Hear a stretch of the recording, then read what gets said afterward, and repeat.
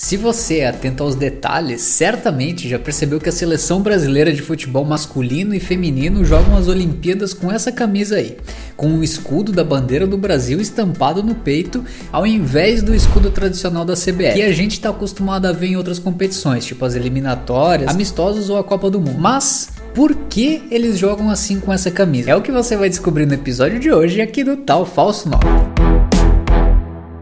A seleção brasileira de futebol masculino e feminino jogam as Olimpíadas vestindo a tradicional camisa amarela com calções azuis. É fácil de reconhecer e é um uniforme muito pesado frente aos outros concorrentes. Mesmo que a nossa trajetória nas Olimpíadas não seja lá muito vitoriosa, Ainda assim, a camisa amarelinha traz um respeito muito grande frente aos adversários. Afinal, é o Brasil e todo mundo sabe o quanto a gente tem um histórico vencedor com a seleção brasileira. Porém, essa camisa deu uma certa mudada desde as Olimpíadas de 2008. O símbolo da CBF, que a gente reconhece de longe, começou a não fazer mais parte do uniforme oficial da seleção brasileira naquelas Olimpíadas de 2008 em Pequim. Mas antes de eu te contar essa história toda, considera se inscrever aqui no canal. Temos vídeos sobre futebol toda semana por aqui e assim você me ajuda pra gente continuar crescendo por aqui. Pode ser?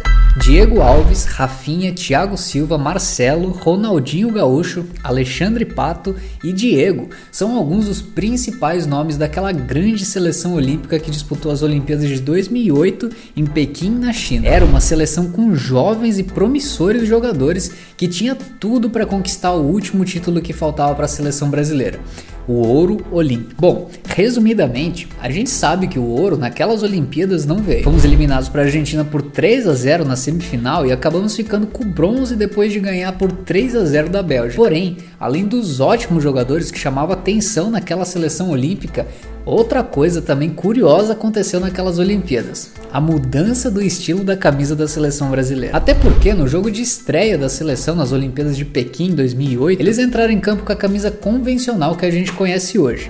Camisa amarela, com o escudo da CBF e a marca do fornecedor esportivo. Mas curiosamente, no segundo jogo, a camisa já não era mais a mesma. No lugar do escudo da CBF, não tinha mais nada. Era apenas uma camisa amarela com a logo do fornecedor, o número do jogador e nada mais. Do jeito que tava aí, na verdade, parecia até mais a seleção da Nike. E a partir desse momento, a seleção brasileira de futebol nunca mais iria usar a camisa com o símbolo da CBF nas Olimpíadas. Mas por que essa mudança brusca?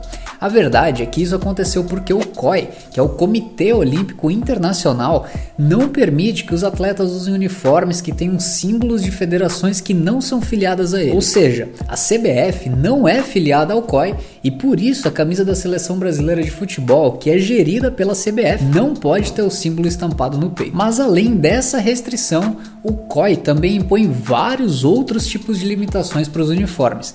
Por exemplo, a logo do fornecedor de material esportivo, que no caso do Brasil é a Nike, precisa ter um tamanho único e pré-determinado pelo próprio COI. Sem estar nesses padrões de medidas, a camisa não pode ser usada.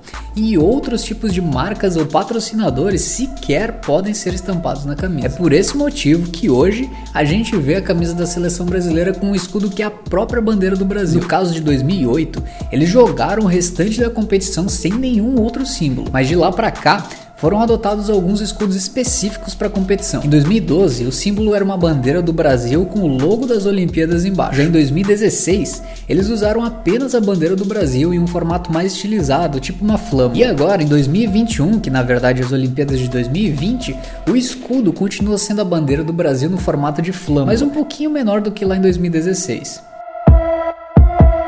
Agora, quando você notar essa diferença nos uniformes, já sabe por que ela acontece. Se inscreva aqui no canal para mais vídeos de futebol como esse. Muito obrigado por assistir e até a próxima.